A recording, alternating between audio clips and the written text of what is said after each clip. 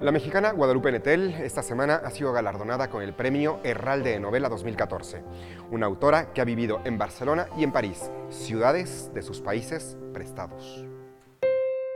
Poco más de 200 páginas contiene el libro Después del invierno, de la mexicana Guadalupe Netel, con el que ha ganado esta semana el Premio Herralde de Novela 2014, dotado con 18.000 euros. El humano, justamente porque tiene la capacidad de reflexionar y de anticipar, puede ser mucho más cauteloso, pero puede ser mucho más perverso también, y en esa perversión ser, ser extremadamente violentos.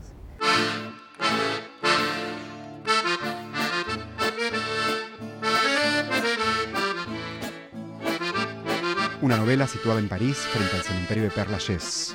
Un hombre y una mujer neuróticos. Un hombre y una mujer que cuentan la historia de su vida, que es el universo de las relaciones amorosas.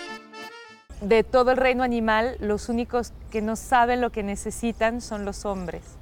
Claudio es cubano, vive en Nueva York. Cecilia es mexicana, vive en París.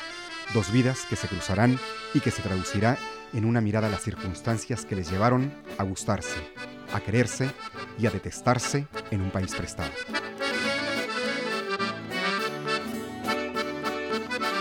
Esa incapacidad para convivir, esa necesidad de matar al, otro pez con el que están compartiendo el territorio, los condena a la soledad irremediablemente.